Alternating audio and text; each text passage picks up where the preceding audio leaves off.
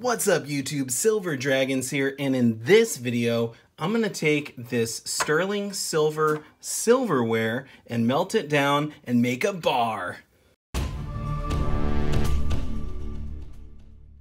Thank you so much for watching my video. I sincerely appreciate it.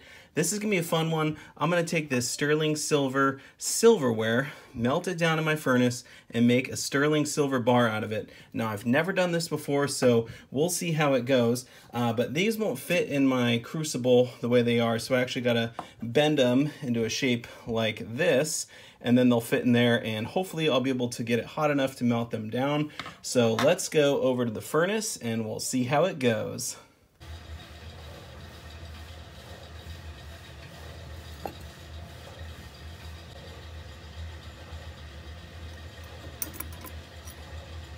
Okay, so I'm only at 1071 uh, Celsius. Uh, 1095 is what I normally melt my 3 nines fine silver at. I've never melted sterling silver, uh, but one thing I noticed is there's a lot of stuff coming out. Uh, you can see all that smoke. Looks like pretty liquid in there. Uh, so I think we're probably about ready to pour. So I'm gonna get set up and we'll try and pour a sterling silver bar.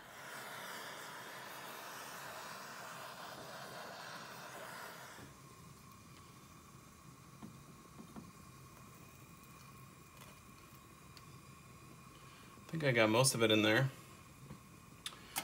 Very interesting. There must have been some sort of film or something.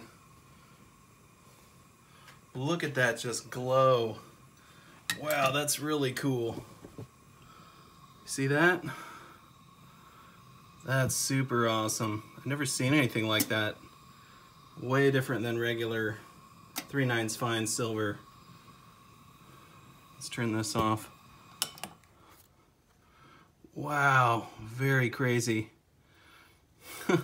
it's so dark too. And look how long it takes to cool down. It's still glowing hot. Wow. I'm gonna dump this out and see if there's anything left in that crucible. I think the crucible is probably toast. I'm gonna need to buy a new one.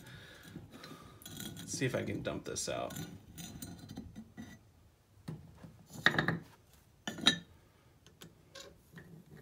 That is a heavy pour. Wow, very unique looking bar. Let me try and get the rest, see if there's anything left in that crucible out first. This crucible is definitely toast. Oh, look at that. Oh, nice. See that just sort of glow? That's crazy. wow, what a fun project. Got a little little sterling silver doodad right there. I don't think there's anything left in there. All right, I'm gonna shut down the furnace. Here comes the quench.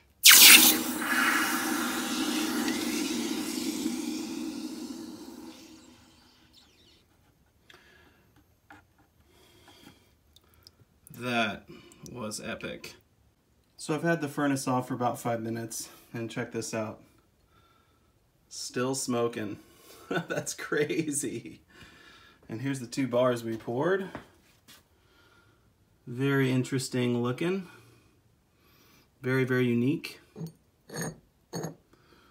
See if I can get this uh, cleaned up and looking snazzy. I don't know uh, I don't know how it's gonna exactly work, but I'm gonna try and clean it up the best I can.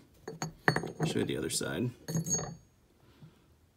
That's crazy so much different than uh, working with 3 nines fine silver. All right, let the cleanup begin. All right, so I got the piece all cleaned up and oh, look at the amazing texture on this bar. Wow, this is so incredibly unique.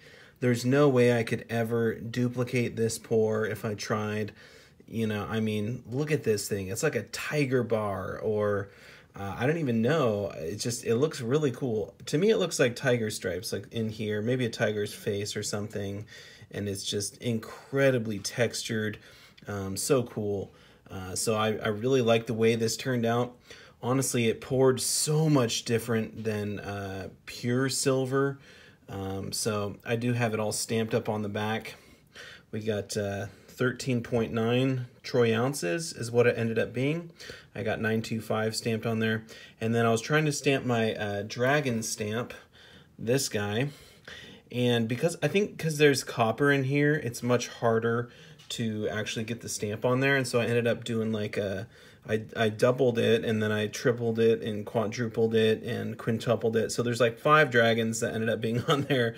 Uh, but you know what? This is my first ever sterling pour. So uh, whatever. It's still cool. I mean, even the back looks cool. Look at that. Such a cool bar. Wow. I definitely want to do some more of these, but it's just, it's so weird compared to pouring pure silver. I'm just not used to it. And look at the color on this thing. I mean, that's that's crazy different. I mean, I expected it to be more silvery. This looks almost like gold, you know? it's just, I mean, it is golden color. Um, but obviously it's uh, sterling silver. And I don't know if there's anything, you know, that they maybe add in into the silverware.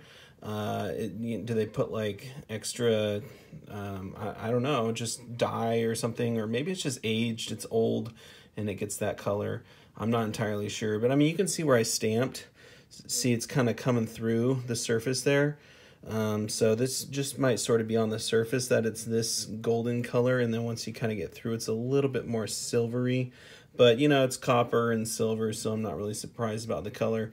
But it does look very cool. Awesome, unique bar. Never expected it in a million years to turn out like this. Um, and there was a little bit left over. You know, this was a little extra pours. So this is the color it is uh, before you clean it up. Almost a really nice rainbow on this side. I wanted to just sort of leave this in its natural state. Um, and then there was a little extra bit there too.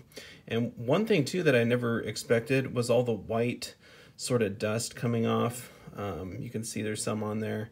Uh, it's just really weird. But uh, anyway, uh, so there you have it, my first ever sterling silver pour. It was very interesting. I, I don't know if I'm going to be doing a lot more of them in the future. Obviously, you have to have a crucible just for these. Uh, that crucible I was using is pretty much wasted, so uh, you know if I do more sterling pours in the future, I'll get my own crucible uh, just for those. And then if I ever end up doing copper in the future, I'll have to get my own crucible for that. Uh, but I probably would get a new furnace first just so I can heat it up hotter. Uh, so anyway, that's the way it ended up turning out. I am really pleased with this bar. I'm going to be shipping it off to the gentleman that asked me to pour this for him.